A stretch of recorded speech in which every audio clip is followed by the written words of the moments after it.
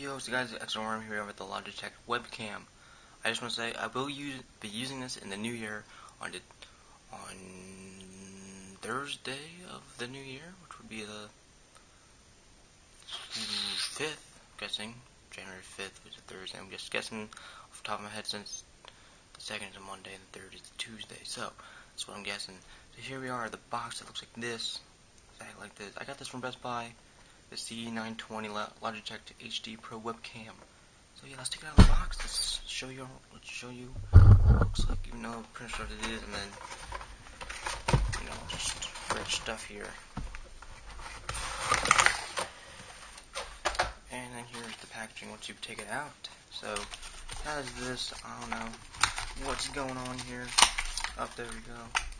Push this back forward. I don't know. I don't know what's going on here. So a USB, of course. I a 2 or 3. That's definitely a USB port. Push out to the front, I'm guessing. And then you got the swivel action here.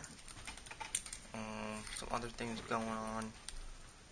So I get I could technically use this bipod, tripod that I'm using the camera right here um, to put it on so it has this, the metal twisty port. Uh, I could use that or put on my TV, like onto my monitor here or on my TV. But I'll be switching around depends on the things. Like I'm doing CS:GO here, I'll be switch putting it here obviously.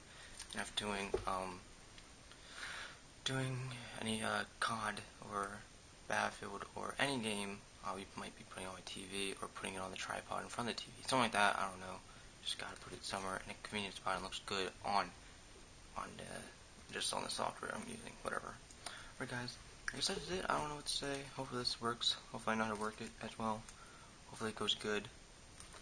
And I'll be using this in the new year. Since, uh, new year, new me, pretty much is what I'm saying. You know, that's like everybody go and say. And, well, anyway. So, new me, new channel, new channel look, new everything. Not channel look, but, you know, new channel, new vids, new different kind of vids, everything like that.